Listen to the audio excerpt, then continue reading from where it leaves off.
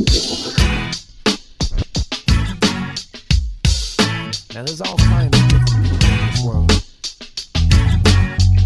There's only one pie.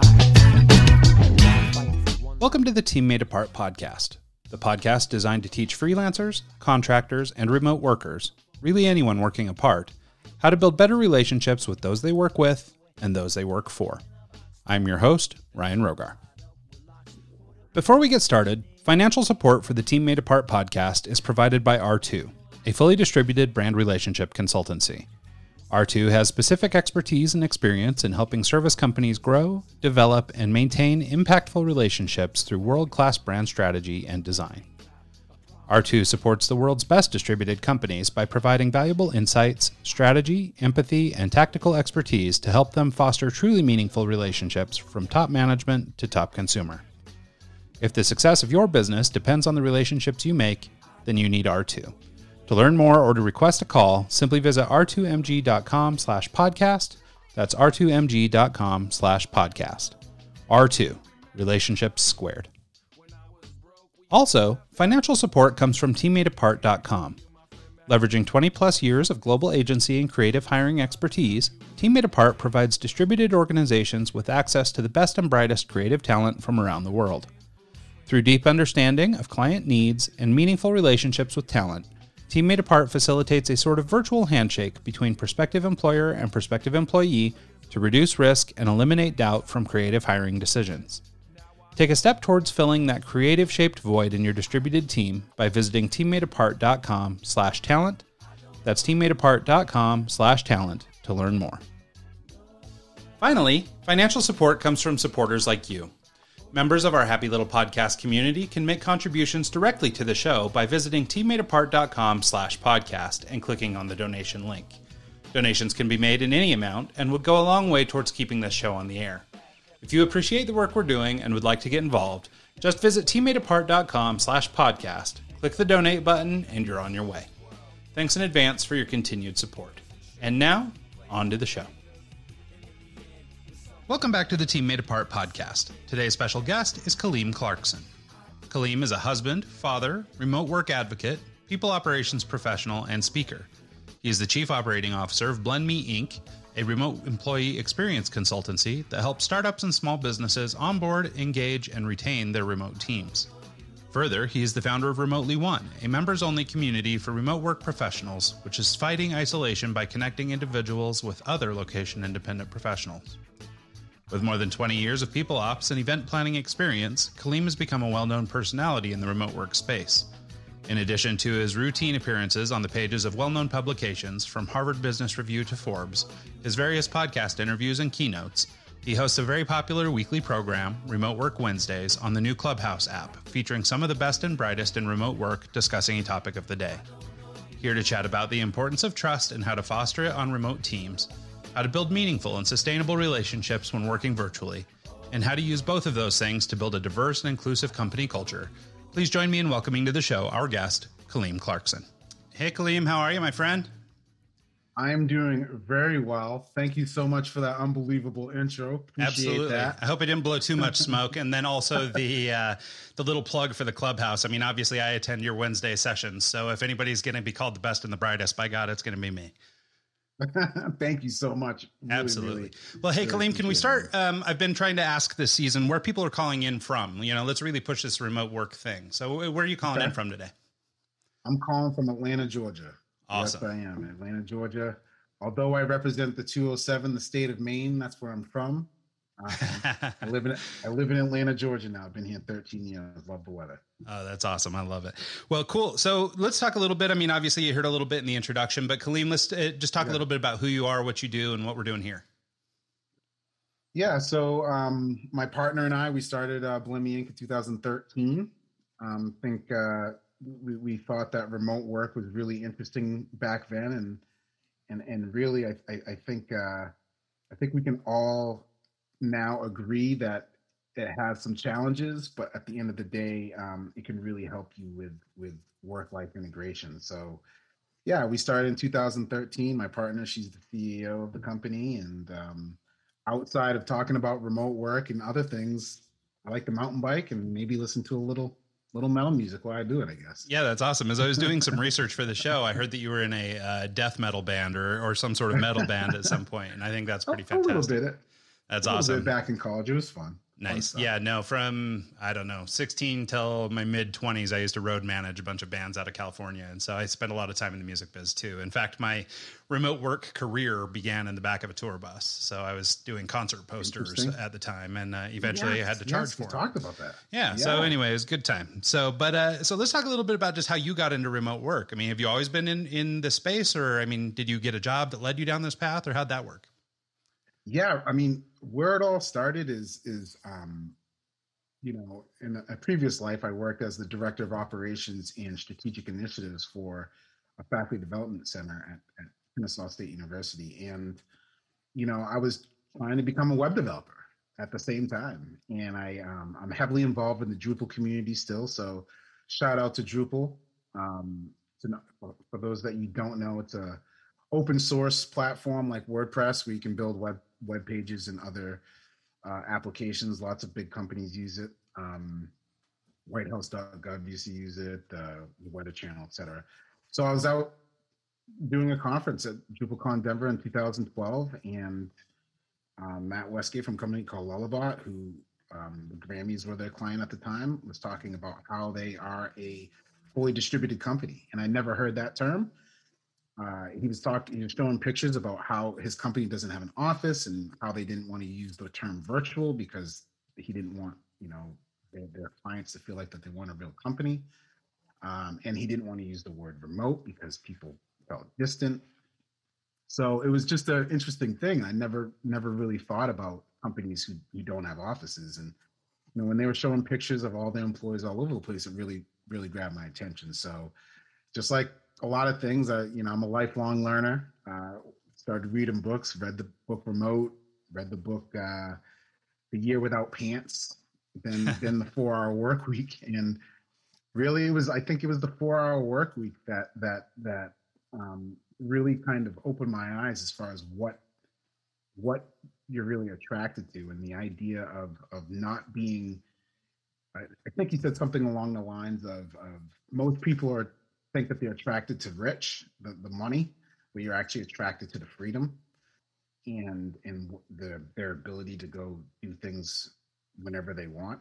And I found that fascinating of of the idea of being able to work but not being attached to a location. So um, again, my partner had just graduated from UConn in 2010, a couple years before that, and, and um, with her master's degree in human resources and organizational development and we are just like, why don't we just start an HR company specifically for remote company, for remote companies, and here we are today. Yeah, no, I love it. Well, and I think one of the things I like the most about you, Kaleem, is that you and I bond a lot over sort of our you know mutual interest in things that have to do with sort of i don't know the, the warm fuzzies the relationships the empathy the mm. trust mm. you know all these kinds of things and you know that's been our message really from the beginning is how do we build better relationships remotely and uh, and and you and I have sort of found some common ground on that stuff too. So I'm really excited to have this conversation.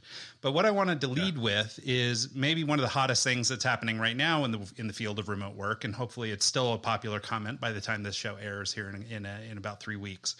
But I think that the um, there's there's this big movement, right? We're starting to maybe see a downward trend in COVID cases. We're starting to hopefully be recovering from this thing. The economy mm-hmm. is starting to to ramp back up. And one of the yep. things that's happening is now businesses are saying, "Hey, I'm going to reopen my office. I want to go back to work." And uh, you know, we're seeing some studies start to emerge about how people feel about this, and there's this idea of this mandatory return to office. You know, everybody is is handling things differently, but you know, there's a, a big contingent of sort of what we would call sort of the dinosaurs or the the older version, the people who are managing in maybe a more antiquated way and uh, and they're really interested in just you know let's get back to the way things were. Let's get back into the office. And so i thought mm. maybe you and i could have a little conversation about this idea of mandatory uh, return to work and see what you thought.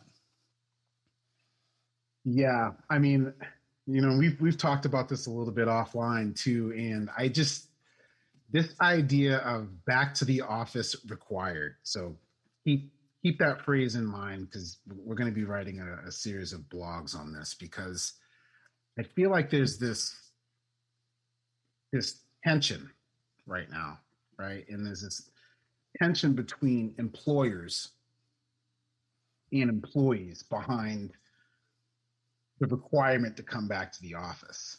And, you know, regardless of whether you are for returning to the office or or not for returning to the office, um, I feel like making it required just goes against everything that we've learned, right? Um, obviously, you and I, Ryan, we we've been doing remote work for a little bit, so you know, more power to all the new people who've experienced it. I'm not not you know taking that away from anyone, but uh, this has been this has been happening for years, even before us. Yeah. So well, and it's interesting. Um, you know, I think that there is yeah. a, a disconnect that exists, right? I mean, obviously, yeah. a, communication is a two way street. As mm-hmm. folks in the mm-hmm. remote work industry, like you and I, I mean, obviously, you know, we we really come to appreciate the importance of, of good two way communication, right? Because it's critical for right. remote teams. You know, regardless of mm-hmm. synchronous, asynchronous, whatever, any of these fancy words you want to use. You know, bottom line is we need to be communicating ideas, and we need to be doing so with regularity. But just like in real life, right, between you and a partner or you and a friend or you and your mother, you know, if there's too big a too big a gap between what you want and what you're communicating, you know, then you're sort of opening yourself up to to some funky territory. And I'm gonna I'm gonna look down here while I cite the study. But basically, what we're looking at is, you know, based on some recent studies, and I saw one as recent as today that was a little anecdotal, but basically the results were the same. Uh, you know, 32% of people are trying to go remote only. 39% are interested in some sort of hybrid situation, leaving only 29% that actually want to go back to work 100% of the time. And I've seen numbers, you know, even lower than that, you know, in the in the 8 and 10 and 5% that are, are actually looking to go back. And uh, and so I wonder what your thoughts are on sort of this mismatch between, you know, what people seem to want and what are the needs or the wants or the, you know, whatever of the employer. Yeah, yeah, and I'd also like to to add to that that, um, shout out to Buffer. The 2021 state of remote work has an, an even crazier stat of 97% of people want to work remotely at least part of the time for the rest of their career.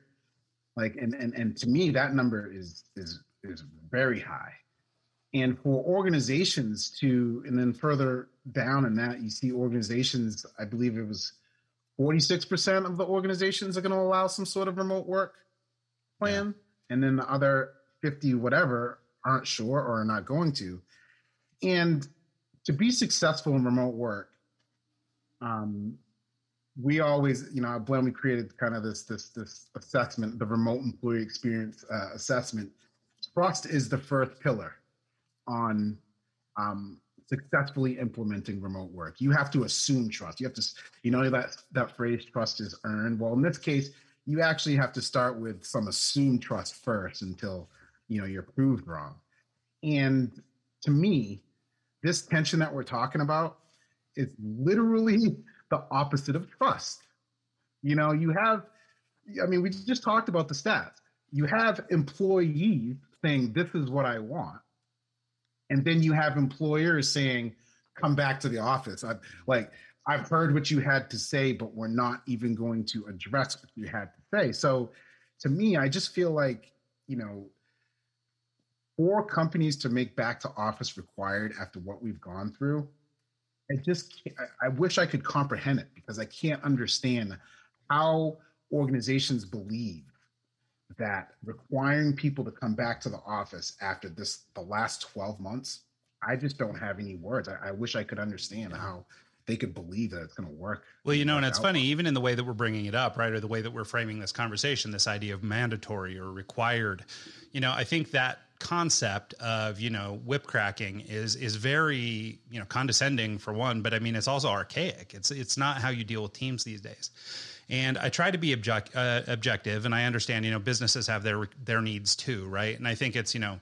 you don't want the students running the school necessarily, right? You still have to have some leadership, and you still need to have some some people in charge. So yeah, sure, your employees want this, but maybe for one reason or another, your business can't do it or whatever. But more often than not, the excuses I hear are sort of fear based you know it's it's back to this idea of trust. It's it's you know we don't inherently trust you which i mean tells me you don't trust the people you're hiring which means you're making not great hiring decisions. So so i think there's sort of a you know a fruit of the poisonous tree there i think. But um but ultimately i think you know it does boil down to this trust and i think that it's a fear thing that we're trying to overcome. And the idea of it being so you know black and white or so just flippant that we're not we're not going to go back and that's that uh you know seems a little bit counterintuitive. Mm counterintuitive. I mean, yeah, especially especially when you're talking about we've been doing this for 12 months.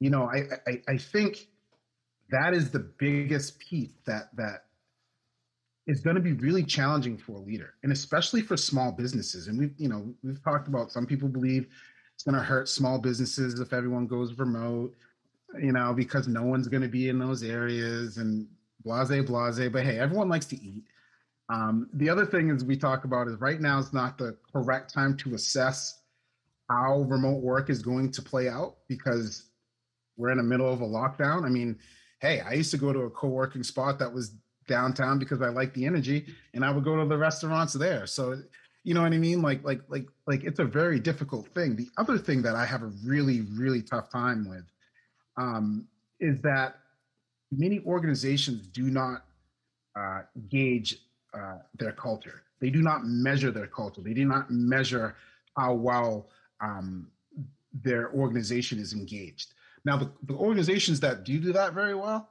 you know, they could come out and have some data. Like, look, we we surveyed our company, and you know, engagement has gone down. Our culture, people are feeling it. Um, and if you have that data that's showing that, and production's down, if you have that data, then then okay it's a good it's a good reason maybe your company is set up that way you know that you can do that yeah. but for the most part ryan well you know i think that that's know. a well and companies I, aren't measuring it yeah you're i think you are right and i think that's a great point actually because i think you know when people or at least the criticism i see you know on linkedin and places like that you know you you've got some remote work advocate that's all gung-ho remote work and then he's mm-hmm. pitching some idea that seems new or strange or or you know whatever. And i think you know just like we're talking about the all or nothing on the the business end you know i think people perceive the way these advocates come at remote work as being all or nothing too. And i think it's laurel farrer that that really said this to me that in a way that stuck but it was this idea that it's not about you know remote work being the future. It's about flexibility being the future right? It's be able to work where you mm. can be most productive and so, but to your point, this idea that if you've actually collected data that shows, hey, our, our line of work or our type of business, or maybe our leadership can't hold up to doing a great job remotely.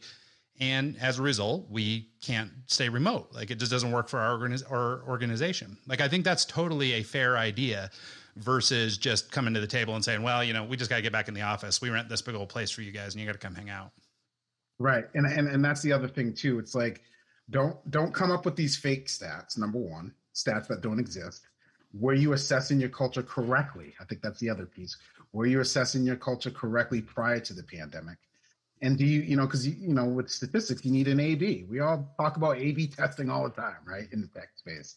If you don't have an A or a B, then I really don't know what leadership's going to use for legitimate reasoning to bring everyone back that's going to build trust you know, we're talking about trust and, and, and, and gaining empathy. The first thing, the first thing you want to do to erode trust is to just tell people to do it and don't worry about it because we're telling you to do it. Like, yeah that is that's that's a beginning way to, to, to start eroding trust right there so. Yeah well and it's funny too i think it's probably i mean it's obviously a misconception but i think people hear that you know oh i want to work remote and that translates in some leaders minds to oh well i just want more time off or you know i don't want to come to the office i want to work in my pajamas or whatever. But one of the factors that i think is still maybe being a little bit overlooked is that you know for at least a small percentage of these people who are interested in staying remote they might still be scared of this whole COVID thing. And maybe they're not interested in being in an office with a bunch of people who might get them sick. And just like anything else, if you if you feel like you're unsafe at work, why should you be forced to be there, right? Yeah. Yeah. I mean, you have you have the safety situation. The other thing is, is we have families. I mean, tons of people have reevaluated what's important for them in life. And, you know, for myself, my partner and I, we had the experience to be able to go to Maine for three months and and and and be around our in-laws where we couldn't have been around them before. And it changed us. I mean you can't you can't deny that that people have reevaluated what's important to them. And for organizations to just totally ignore that um, it, it just doesn't make good business sense and you know what let me tell you this if you're a small business there's also another piece to remote work that people are not um, talking about. And and I love the fact that Laurel kind of brought up that that piece of all or nothing. But let me ask you this: What were to happen if um, Company A in the Northeast a few weeks ago had this huge blizzard, and you had no remote work, right? You had no remote work implemented. You know, I'm from the north. I remember school day, uh, snow days. Love snow days. Shut the school right down. You know what they do now? Um, from snow's home. coming up tomorrow. S- snow's coming up tomorrow. There's not going to be a school day. You're going to be a snow day. You're going to be doing school school from home. Now, for some of you kids, I know that's not great. I love snow days. I understand this. I've seen some people say, "Oh, our kids are never going to get snow days." Okay, I get that. But remote work is a really, really, really smart disaster contingency plan. Yeah, you know, and every and- business needs to have a disaster contingency plan. Yeah. So I had a conversation recently uh, for this podcast, actually, with a guy named Chris Dyer, and he was talking yesterday about a meeting yeah. type they have where they it's called a, a, tsunami meeting and basically in these tsunami meetings what they do is they come up with a fantastic uh, you know emergency or situation or scenario or something that what if this happened to our business? How would we survive? You know and it could be what if our ceo got hit by a bus? It could be what if we had an extended power outage? It could be whatever right? But to your point mm-hmm. without stopping and thinking about that stuff you know not not too far from just you know getting under your desk and learning how to do a fire drill right? Or get you know an earthquake drill in the schools. You know mm-hmm. i mean even though there may never be an earthquake that little bit of preparedness is really valuable and i think to your point this idea of having remote work as an option you know even if it's not your full-time modality but hey i've got to go out of town or hey i'm having a baby or hey you know, so and so is out with something or, you know, whatever, for those people to then be able to just sort of pick up the mantle and work from home. Uh, because you've already built the infrastructure, you've already opened up the communication channels, you've already built all this stuff. You know, I mean, what a, what a great opportunity! And and you know, should there be an a, a emergency or maybe even not an emergency, just a need to close the office, toilets flooded, you know, everybody yeah. can keep work going, and actually, it ends up being better for you in the long run. I mean, absolutely. I mean, just think about you have Cal- we're always going to have natural disasters. You know, I, you know, you know, um, you remember in the entertainment biz back in the day in the contracts, and they probably still put these in the contract, right? Act of God. Um, the only the act of God, and and and if the act of God happens, that's the only way that you don't have to pay the artist. That's right. right. Well, it's a very slim definition of, of, what force majeure is. By the way, they they try right, very right. hard not to, not to very very difficult to to true to, to prove. But um, the point is, you know, there were wildfires in California. You know, there's blizzards, there's floods. These things are going to continue to happen. And if you're a small business, the, the thing that you know I'm really really trying to preach is there are a lot of small businesses out there that do not want to adopt um, remote work for whatever reasons. And I'm talking about family businesses, the the blue collar industries, um, I have a colleague who's in third party logistics, who's you know trucking. It's it's trucking. It's in that you know work hard. We all got to be together type feel. And they're fully they've been fully remote um, since since like March or April, and you know they're located in Massachusetts and and just thinking about the idea of you know him talking about well hey if if something were to happen at least my office you know the people who are in um, the midwest they can continue to work and and you can still do your business. And for a small business, one or two or three days of not being able to work is a lot more impactful and, and can, can can hurt your business than a big corporation. So in a weird way, this this remote work and disaster contingency is kind of more important for these smaller companies, you know, because how long can you hold on without you know you have a, a crazy blizzard or something like that how yeah. long can you hold on without working well and that's a great point and also just the fact that you know should something happen in your small business you know, I mean, it's infinitely easier to install remote work policies and stuff like that among your nine or 10 employees or, or, you know, whatever you have, you know, than it is for, you know, I don't know, one of these, you know, mega companies to do it. You right. know, I mean, it's, right. it's a, not a difficult process and it's a great emergency contingency to keep you safe and keep you doing business, you know, you know, God forbid it's just the weather, but I mean, you know, it could be something worse, like, you know, COVID 20, you know, right. so it's, uh, yeah. So I think that that's a, a great point. And then not to mention, we're a small business and your competitor small business or competitor in the industry is offering workplace flexibility like as a company if you're out here saying back to the office required do not kid yourself. Do not kid yourself if you don't think that people are not going to yeah they'll go back to the office but don't do not kid yourself if you don't think people are going to be looking for new jobs. Well, yeah, while they're at the office, they're going to be while on uh, Indeed or Monster.com looking for work. So, yeah, no, I, th- I think well, yourself. and I think that's a great point too. Even just as a differentiator going forward, right? I mean, so the companies that you know, I mean, there are people that just want to be in the office, and that's going to be their thing, and that's fine. I mean, remote work doesn't need to be your solution.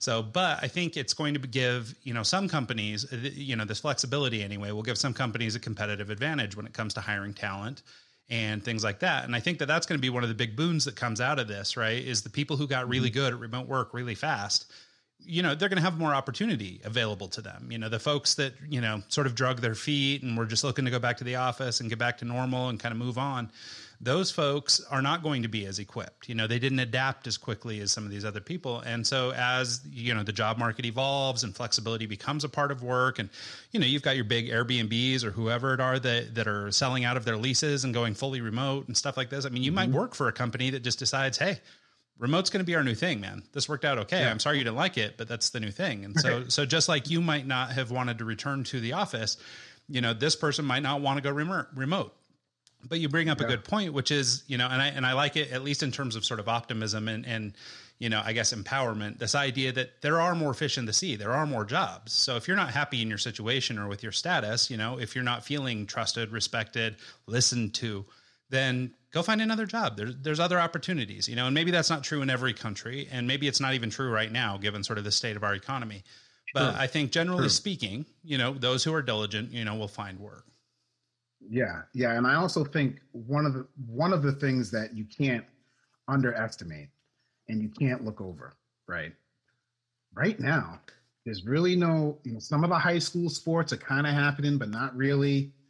Um, so the need for flexibility, it's still there right now, of course, because you know you have some parents who need to you know homeschool because of whatever um, We've had to do that too. That's a challenge. But just imagine, like we did a, um, my partner and I, we did a presentation for the Association of Legal Administrators. And I could tell in the presentation that there was all the administrators, uh, you know, chief marketing officers, chief chief operating, IT staff. Most of them want to continue to work remotely, but then we had a lot of lawyers and partners, you know, who were very hesitant and wanted everyone to get back to the office. So again, we had this this natural conflict, and what we heard about was like, well, when we get back to you know, uh, I'm not going to say when we get back to normal. What can we say? When we get back to being able to get together again, um, there's going to be more uh, uh, need for flexibility. I was listening to this one uh, paralegal talk about, wow, I've been able to, you know, sit with my kid at two o'clock or three o'clock when the school day ends. Sit with my mm-hmm. child and ask him how their school day went, and and have these conversations. Pick my my child up at school versus taking the bus.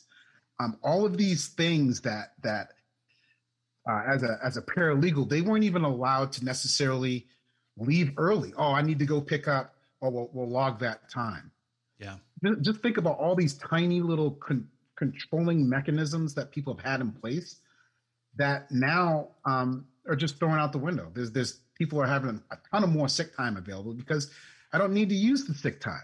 Right. You know, I don't need to take an hour to go to go to my dentist's office. I don't have to do that. So I just I just kind of feel like I, I just don't know how we're gonna go go back to the way it used to be yeah. when people have have people who did not experience this type of life flexibility have now all experience what we've been Yeah. working for years. Well, and I think you know? even beyond that, you know, I, uh, I I've been sharing this notion around quite a bit lately, but this idea that I think it pays a little bit of a disservice to everything this country's been through to try to return to what it was. Right. I mean, I think that Thank we've been through a really difficult Thank time in you. this country, well, and wor- and around the world. But I think to not take that as a learning experience that makes us better somehow, I think sort of cheapens all the all the bad things done, right? And so I think that it's really important that we think about that. And and also if you as an as an employer, as a leader, if you can be empathetic to the fact that everybody's lives have gone through some sort of upheaval. Maybe it's a job loss, maybe I had to quit to stay home with my kids, maybe it's just I maybe I always worked from home, but now I have kids and a partner at the house. Maybe I mean, you know, but everybody's circumstances are different. Maybe I've been out of work for a while. Maybe I couldn't make my mortgage for six months. Maybe, you know, I mean, there, there's so many, such a broad range of things that people are dealing with that to try and say, well, let's just go back to the way it was and sort of, you know, okay, now we're going to go back to the office just like before when you had job security, even though now you don't. And, you know, just Yeah, like yeah. before when you were home working alone, but now you have kids and family around. Like, I mean, it, it sort of, I think, discounts the, tr- the trouble that people have gone through to, to be so sort of archaic about this idea that, okay, we're going to do exactly like it was, or, or you're now required to do X, Y, and Z. I think not giving people that empathy or a little bit of that grain of salt to sort of address what happened, you know, what's happening in life right now, I think uh, pays a disservice to people. you know, I I guess I I've never really heard it kind of positioned in that way, like a, a disservice to what we've gone through.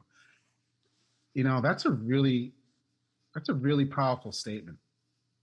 You know, and I think I think that's something that um, if you're listening, I think that's something you should take. If you're going to take one thing out of this pod, this podcast it, or a video, it's definitely that because when you talk about innovation, organizations were forced to innovate.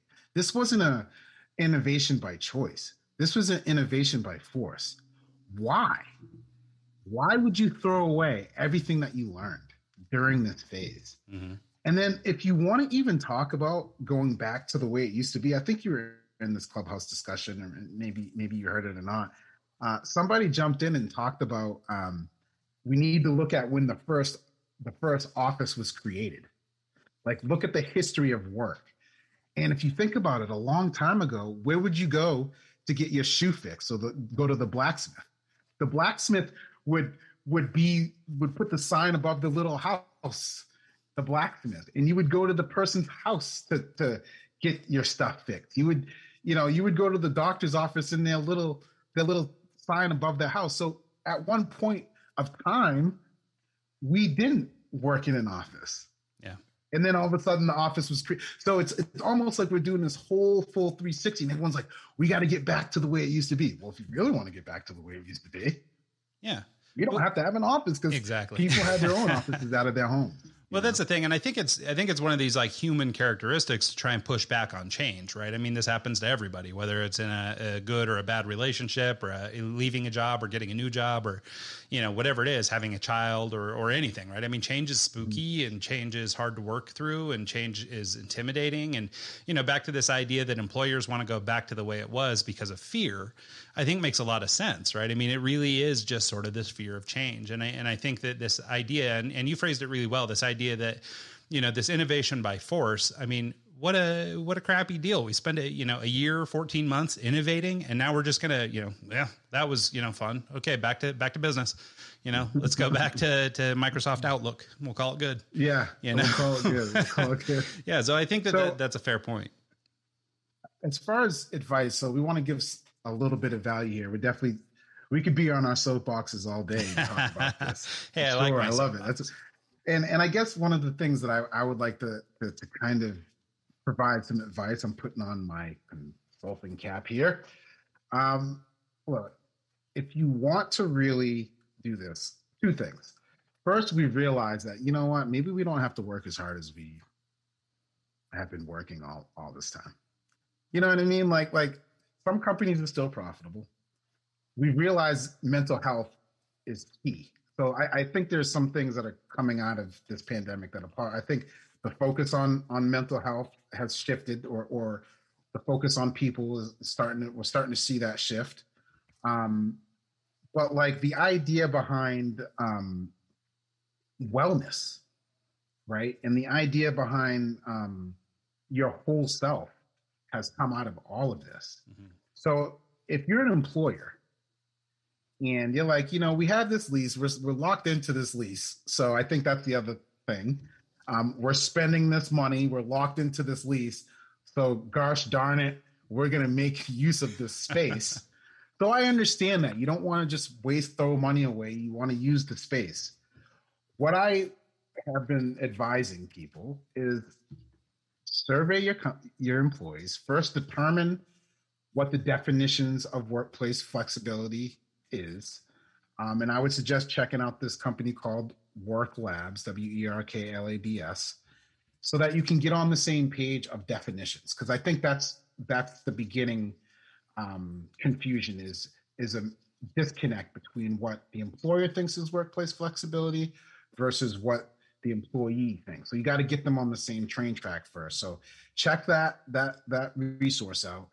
Survey your company and get an idea of what they're looking for first.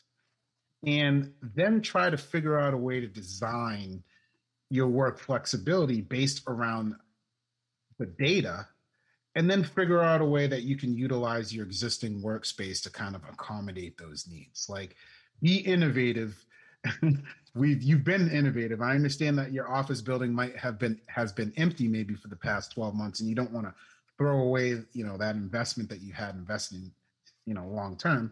But maybe you reconsider how you're going to use that space. So maybe you reconfigure the office to be more of a, a conference type space where you can have concurrent sessions and you can have um, more flexible work arrangements where they can, where people can really get there and collaborate.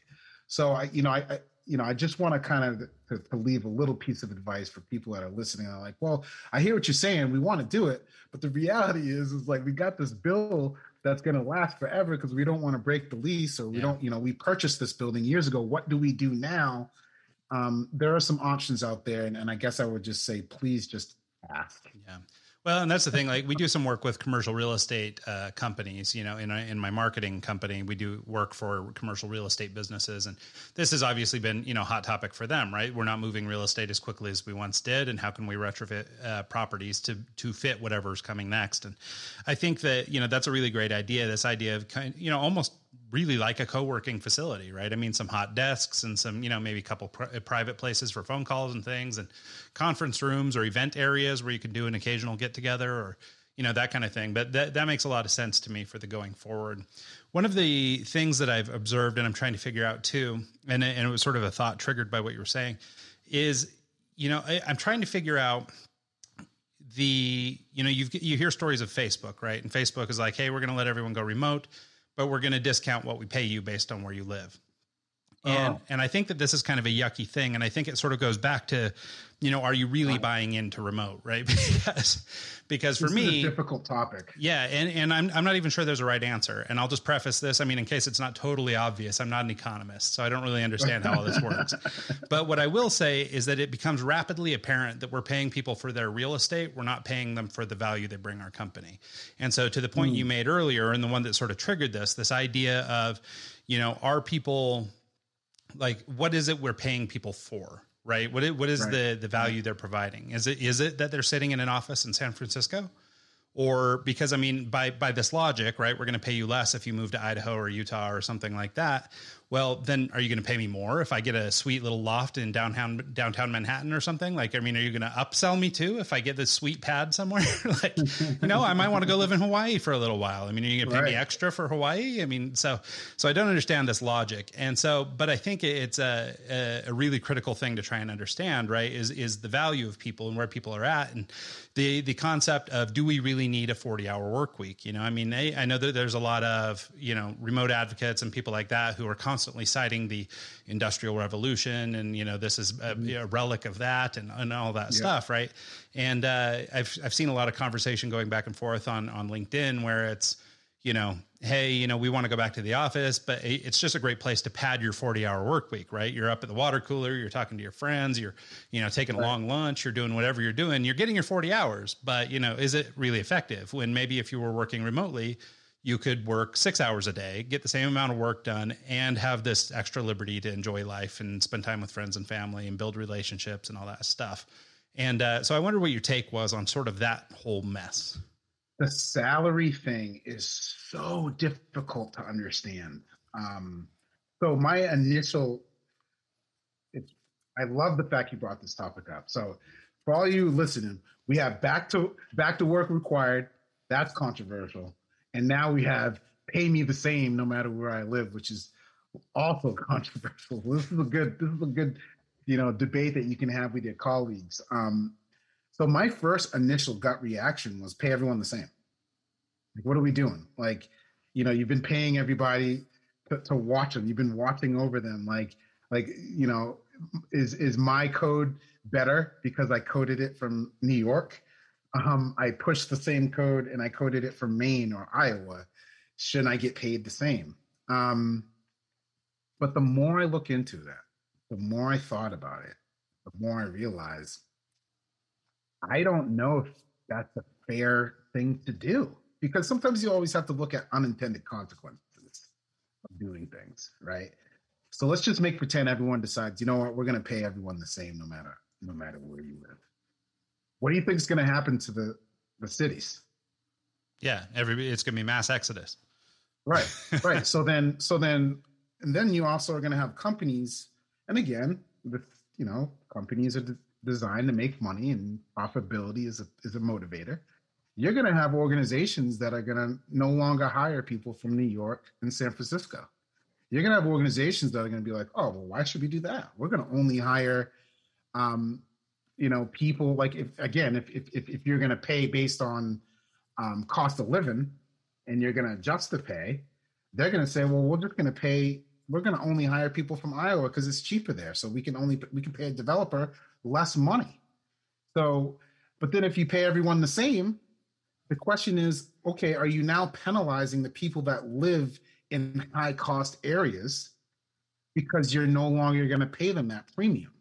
It is such a difficult problem and i don't know what the answer is for that because cost of living the, the truth of the matter is if you make $100000 in new york and you make $100000 in atlanta or $100000 in maine your access to income is is different. Yeah i mean that, So- that so- 100 grand will get you a puny little apartment in new york city but it'll buy you a nice little spread somewhere out in the midwest Right, right. So then, so then, what is fair? And I just, I just don't know what the solution is to that problem. Because Yeah, in you know- theory, you should pay everybody, you know, um, and obviously you shouldn't pay every. You know, this is a sidebar real quick. You probably shouldn't pay everybody the same because you don't want to alienate your top performers. So actually, paying everybody the same isn't really a good thing to do because you want your top performers to make more money than your bottom performers. But that's a whole different topic. right But Well, just and that's based on remote work, Yeah, you know, like well, and that's why I brought this up, right? Is because it's challenge. I mean, this is one of these these questions that that is difficult, and it does. I think. I mean, it does beg the question. You know, why aren't we paying people for value anyway?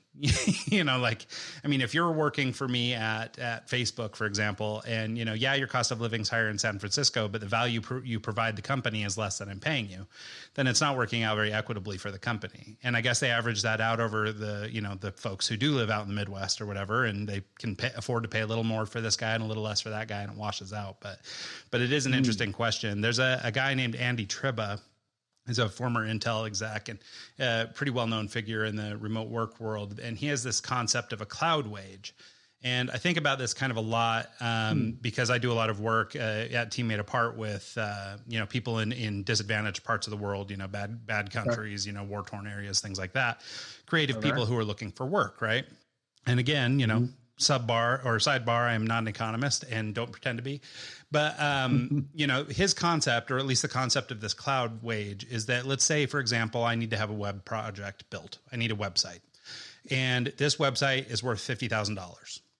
No matter what, no matter where you are, no matter whatever, this thing is a fifty thousand dollar object floating in the sky. And if you're in Bangladesh or you're in New Delhi or you're in, you know, Boise, Idaho, it's ten, you know, fifty thousand dollars just floating here in this Right. cloud, right? And you're able to get equal access to it, right? But what happens if you have these armies of guys in a country like Bangladesh, where you know I, I don't even know what the monthly salary is, but I've got to imagine it's very low, and then all of a sudden they're pulling in these fifty thousand dollar projects.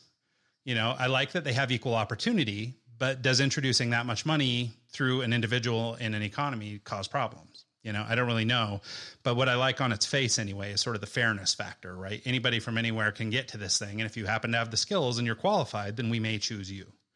You know, so right. I, I like then, that paying for merit, then, paying for value, but what's the long term consequence? Too. I do too, but then the question is, okay, um, as far as the company's concerned, let's just say that there's company A and company B, um, and company company A is in Bangladesh and company B is in the U.S. Uh, so now company A in Bangladesh, they're seeing more profit because they're paying their people less mm-hmm. over there, right?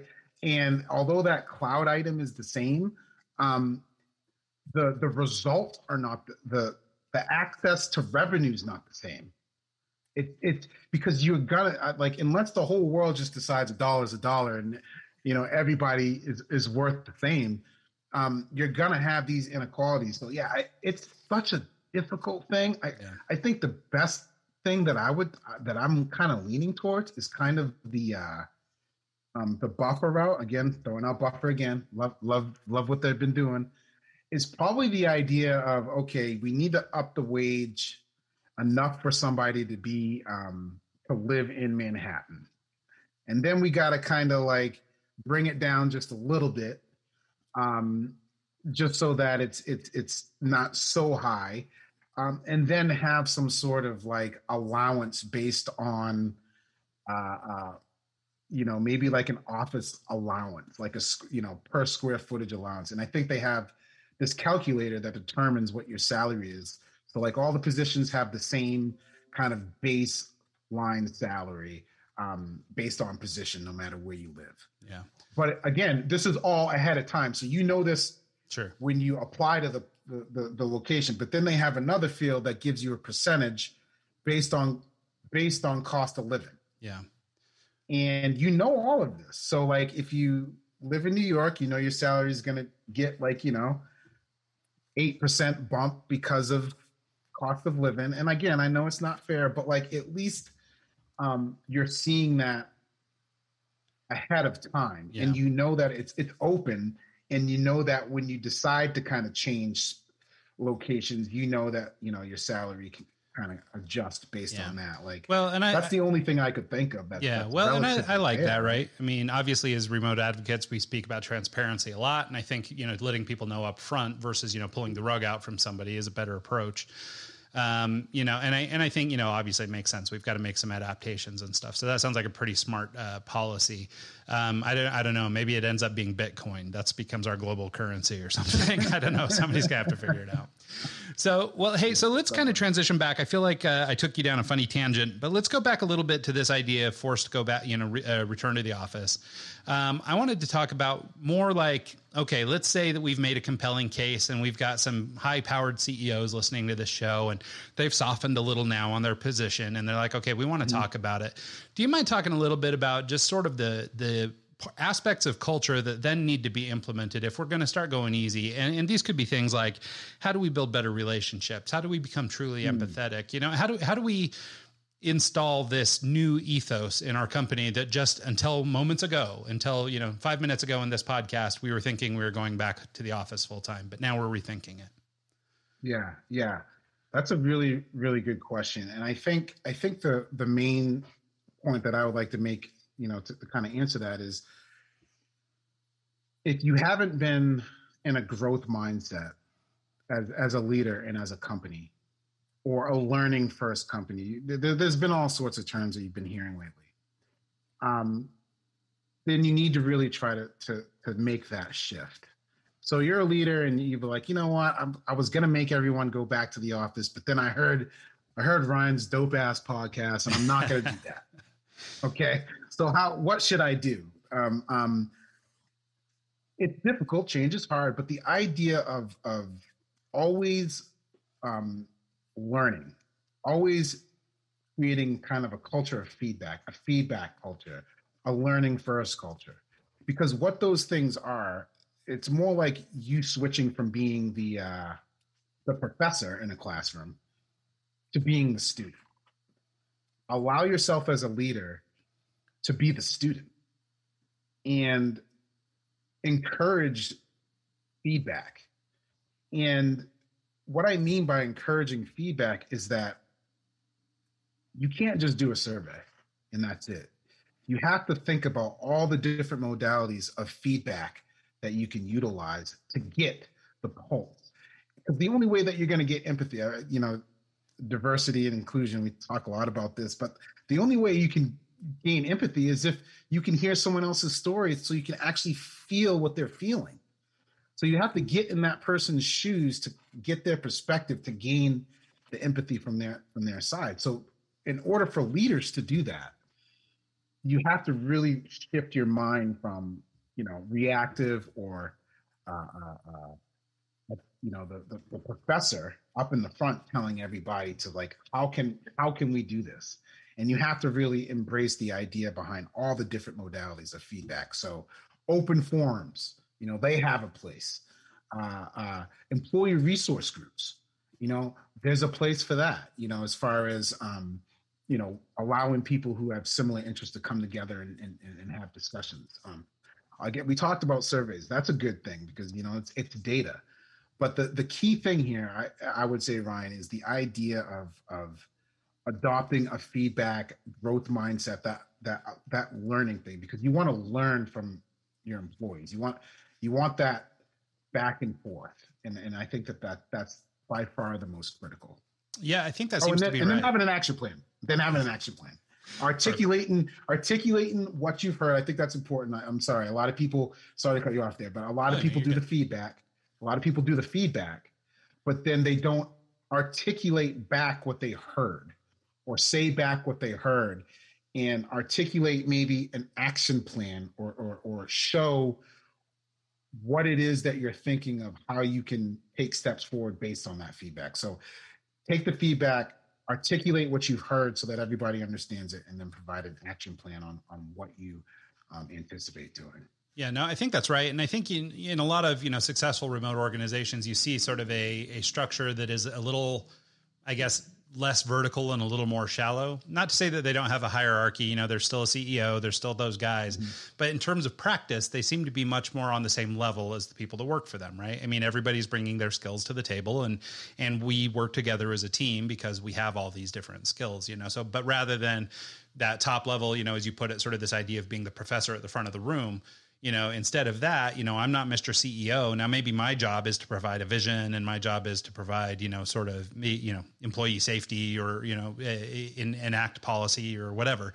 But you know your jobs are no less important than mine. Our job doesn't work if we're not working together. So i think i think that that makes sense. And you know one of the things you were just talking about actually the thing you sort of closed on there this idea of an action plan what i think it really leans into is this idea of, of transparency and being transparent. And you know, transparency is obviously one of these super buzzy words, like you hear it all the time these days. You know, oh, transparency, yeah, transparency. Yeah, yeah. But um, but I think it's you know really a critical idea. And you know, I've spent a lot of time talking to a lot of people recently about transparency and how we actually impose it.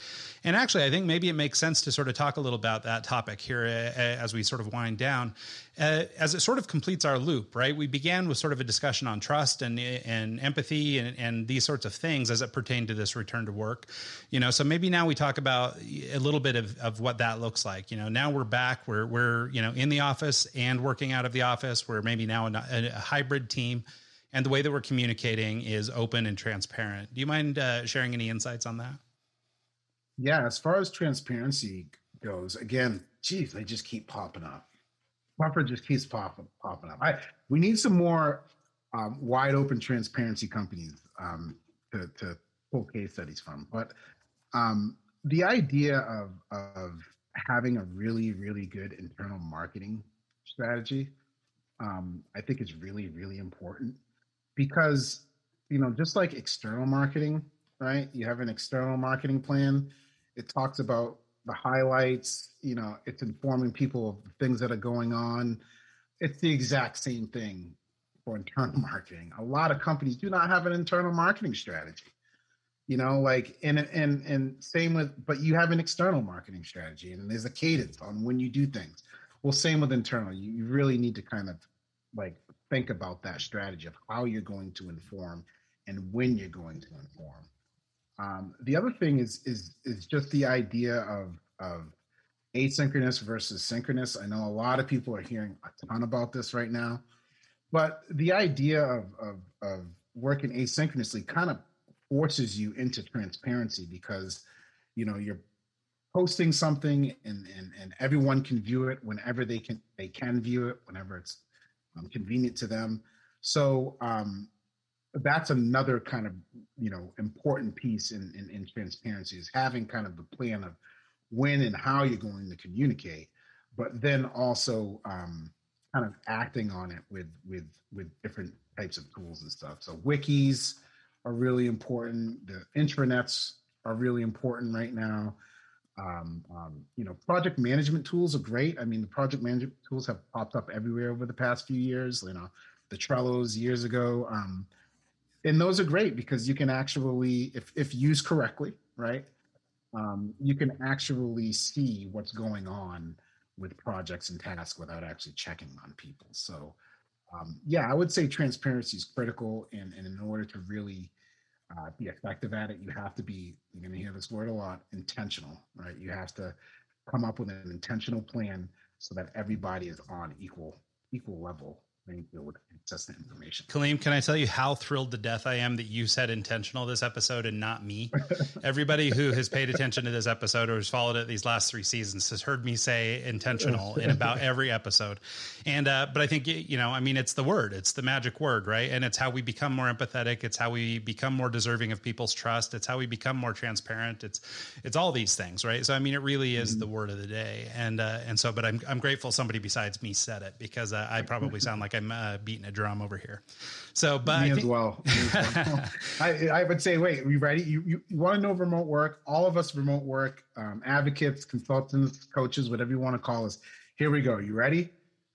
Transparency, feedback, and intentionality. Done. Yep. That's it. That's the whole thing. God, look at that. We solved remote work. So, Done. I Done, love it. Just like that. Yeah. Now hire us to implement. That'll be the thing. There we go. But uh, no, I, I love that. And, uh, and I think it's really important. You know, I think one of the biggest things, especially on a remote team, but I mean, even in a co-located team or in sort of a traditional environment, you know, being open and transparent, making sure that everybody has sort of alignment around mission and vision and, you know, understanding why we're doing what we're doing. You know, why is it that it matters?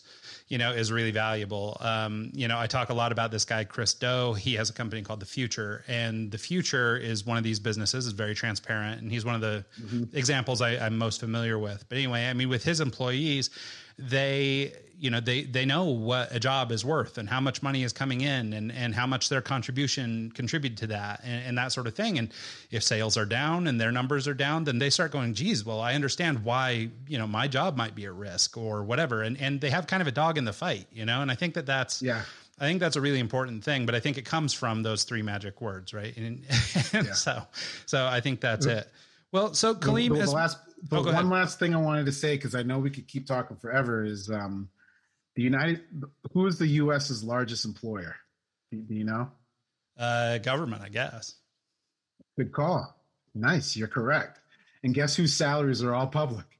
Yeah, government.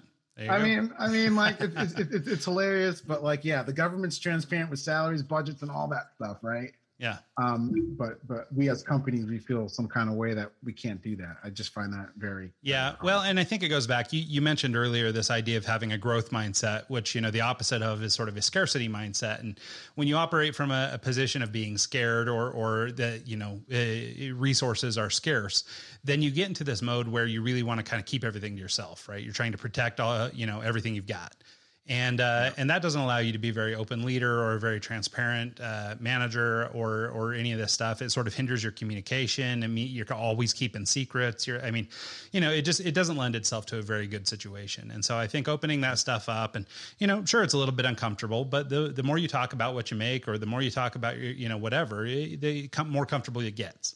And uh, you know, I mean, people will understand. Oh, okay. Well, you have a PhD and you make more money than my bachelor's degree. Okay, well, fine. I'm not going to resent you for that. I mean, I understand exactly. you've got more training than yeah. me.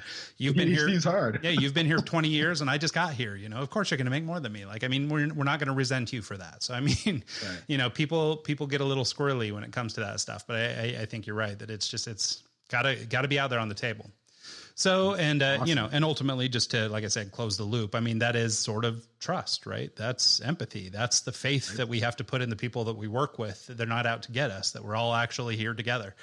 And uh, and if you can open your mind up that way, then there's no reason to force the return back to the office. You know, listen mm-hmm. to your people and, and be truly people first. You know, that's another one of those buzzwords that you hear all the time is we're people first. And, you know, mm-hmm. there's 50 some percent of companies not listening to their people right now. So, so are you truly people first? So don't be uh, back to the office required. How about back to the office not required? Yep. I mean, it's, it's I love that. that. Yep, I love that. Well, hey, Kaleem, in these last couple minutes, do you want to uh, tell people, uh, the people who've been so kind to, to tune in and join this roller coaster ride with us, um, do you mind telling them where they can find out more about you, get involved, or maybe get in touch if they had hoped to, uh, you know, book you for speaking or or for con- uh, yeah, consult, sure. whatever? Sure, yeah, doing a lot of speaking. You can check out um, blendmeinc.com. You can see all of our cool events that we've been doing and uh, if you're just curious about how your remote employee experience is doing, we have a free remote employee experience assessment that we call TREE. Um, and I'm Kaleem Clarkson everywhere. So K A L E E M and then C L A R K S O N, Twitter, uh, LinkedIn. And then, of course, you mentioned this earlier. We uh, you, you join us a lot on Clubhouse every Wednesday, 12 p.m. Eastern Standard Time. Um, we host Remote Work Wednesdays, so you can you can join us there. Yep, that's awesome, Kaleem. And I do want to just make one other little plug for you for everybody who is uh, an active Slack user. The Remotely One community is great.